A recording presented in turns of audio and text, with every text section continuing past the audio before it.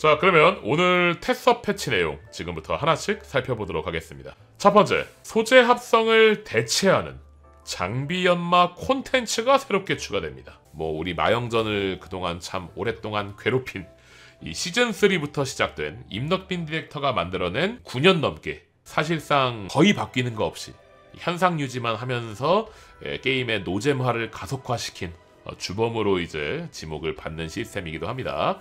그래서 이 소재 합성 같은 아이템 성장을 개편하기 위해서 다음 달 5월 업데이트가 예정이 되어 있죠. 그 5월 업데이트에 앞서서 사전 준비를 하기 위한 업데이트라고 이해하시면 되겠습니다. 자, 이제부터는 소재 합성이 아니라 장비 연마가 됩니다. 시스템이 비슷하긴 한데 굳이 이렇게 명칭이 바뀌는 이유는 지금은 아직은 우리가 115제 오르나까지 나온 상태이기 때문에 기존에 있던 시스템이 이제 변경되는 수준이겠지만은 다음 달에 120제 새로운 이제 레벨이 풀리고 장비가 나올 때 그 새로 나오는 시스템과 맞물려 들어가는 시스템이 되겠죠. 자, 그래서 이게 어떻게 바뀌었는지 지금부터 한 번씩 좀 보도록 하겠습니다. 지금은 그 아이템을 형성하는 부품 있죠. 봉인된 힘하고 이제 원석들. 그 봉인된 힘하고 원석에 있는 능력치를 찌끔찌끔 올리는 방식인데 소재 합성에서 장비 연마로 바뀌면서 어떻게 바뀌냐면은 부품 하나하나 스테이터스를 올리는 게 아니라 그냥 아이템 스테이터스를 올리는 방식으로 바뀌어요. 그러니까 부품을 모아서 만드는 건 동일한데 그 부품에 뭐 이제 뭐 여기에는 공격력 붙어 있고 여기에는 공격 속도 붙어 있고 그거 하나하나 따로따로 올리는 게 아니라 그냥 아이템 만들면은 정해진 아이템 stat으로 이제 완성이 되고 그 stat 자체를 이제 성장하는 방식이 되는 겁니다. 기존에는 공해제를 개방을 하려면은 부품 하나의 재료만 어 이제 다 넣어가지고 그 status만 키우면은 그 부분에 해당하는 공해제를 미리미리 올릴 수 있었는데 이제 공해제라는 stat을 올리려면은 기본 stat을 다 올리고 나서 올려야 된다. 그러니까 원래도 그랬지만은 이제는 정말로 진정한 의미의 end game 스펙이 되는 거죠. 오르나도 마찬가지로 능력치를 가지지 않게 돼요. 즉 최소 능력치라는 얘기예요. 그러니까 여러분이 예를 들어서 지금 중급 능력치를 보유하고 있는 오르나 재료를 들고 있으면은 어 이제 그거에 해당하는 만큼의 장비 연마를 할 수 있는 보상으로 우편을 통해 지급해 준다 그런 이야기입니다. 자 아르드리 같은 경우에 여러분이 지금 아르드리를 갖고 계시면은요 다음 주 목요일에 패치되면은 여러분 아르드리 무조건 최고 오브로 바뀌어요. 그러니까 여러분의 아르드리가 지금 소재 합성을 안 한 채로 내비두면은 다음 주 목요일부터 소재 합성 다 된 상태로 바뀝니다. 지금 들고 있는 아이템도 바뀌니까 지금 아들이 갖고 계시면은 그냥 가만히 계시면 됩니다. 다만 그 아르들이 얼마 못 가 그야말로 휴지 조각 될 겁니다. 어차피 120제를 가든 안 가든 오르나는 무조건 맞추셔야 돼요. 115제인 오르나가 120제의 재료이기도 하고 120제가 나오면 아르드리는 이제 그 컷을 못 따라갈 거기 때문에 어 이제 아르드리가 이제 바뀐다고 해서 좋아할 때는 아닙니다. 결국은 갈아타셔야 돼요. 결국은. 어쨌든 지금 굳이 돈 들여가지고 소재 합성하실 필요는 없다는 얘기입니다. 자, 어쨌든 이렇게 좀 장황했는데 결국은 소재 합성이 장비 연마로 바뀌고 기존 스탯은 사실상 그대로인데 공예제 관련으로 조금 복잡한 부분이 있으니까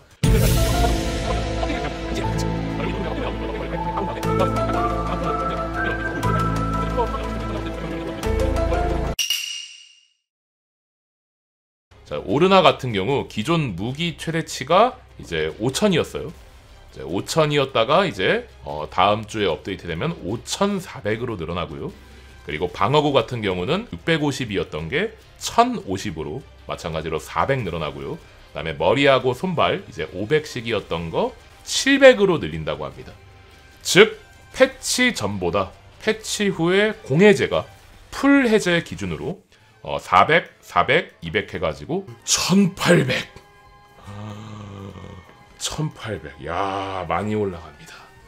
자, 그래서 이제 결론적으로 불균형은 해소가 되고 어, 유저들 입장에선 status가 올라가는 상황이 됐어요. 오케이. 일단 해결됐습니다. 근데 이제 어 이제 앞으로가 문제입니다.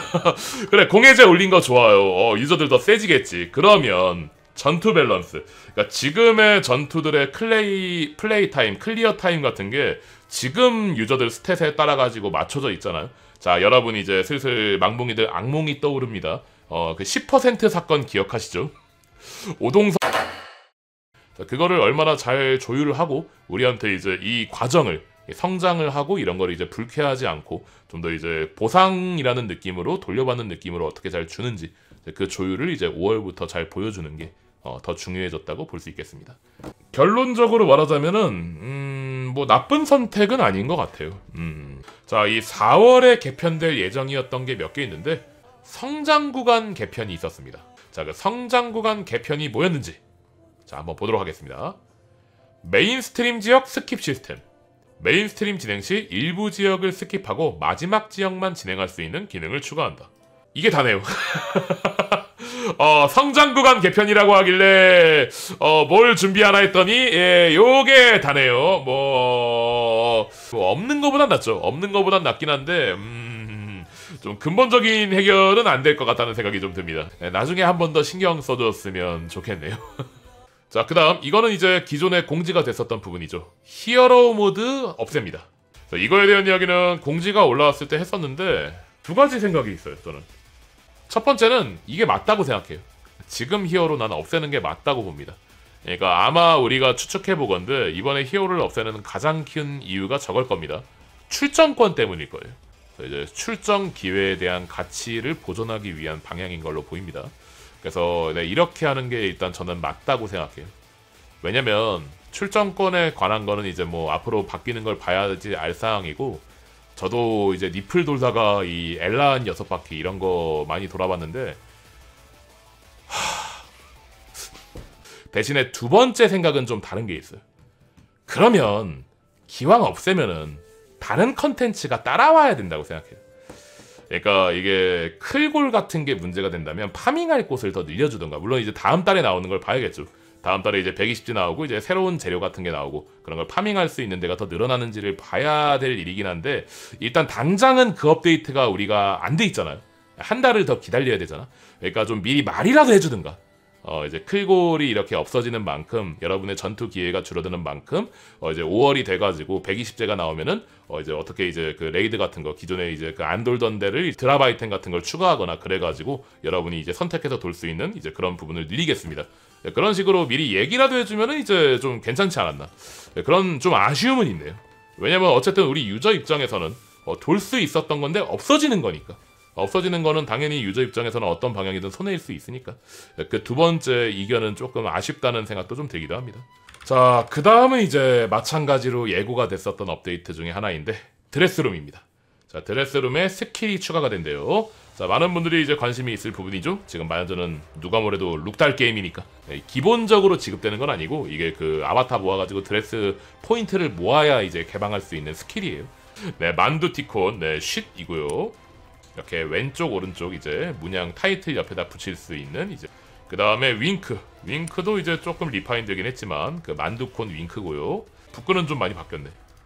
자, 귀여운 북크 표정도 이제 문양으로 붙일 수 있게 됐습니다. 네, 졸린 거 이것도 만두티콘 자, 움찔움찔 움직이는 이제 애니메이팅 문양으로 쉿도 들어가 있습니다 자, 그 다음 윙크는 큰 문양 음, 큰 문양으로 들어가 있고 그 다음에 북근은 어, 애니메이션이네요 마지막으로 당신에게 치얼스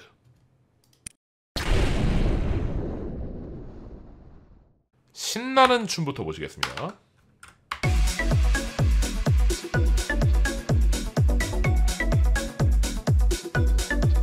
자 보시다시피 음악이 나옵니다. 그리고 음악이 꽤 커요. 아, 이춤 추고 있는 사람 가까이 가밀수록 더 크게 들리고 멀어지면 좀 적어지더라고요. 근데 기본 볼륨이 상당히 크게 나옵니다. 사실 춤이라기보다는 약간 네그 홍등가 쇼에 가까 다음은 산뜻한 동작입니다. 산뜻한 기분.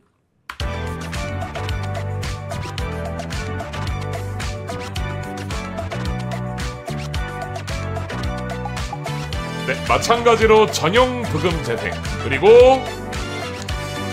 어, 나의 몸을 봐줘 예, 라는 느낌이 많이 드는 네, 아, 정말 뭐가 좀 많이 흔들흔들 거리고 있는데 예, 음, 자 이게 남캐춤입니다. 네, 이러면 좀 크게 보일 수 있죠 근데 뭔가 왜 이렇게 꼭두각시 인형 같지? 자 그리고 다음 춤어 이건 좀 괜찮다. 이거는 딱 뭔가 케이팝 아이돌 느낌이네. 해기가 추면 되게 잘 어울리겠다. 그리고 카로분이 추고 계시네요. 와 정말 정말 무섭네요. 예. 어쨌든 뭐예뭐뭐 음, 뭐 이렇게 슬림한 체형하니까 어, 딱히 나쁘진 않네요. 나는 힙한 것 같아.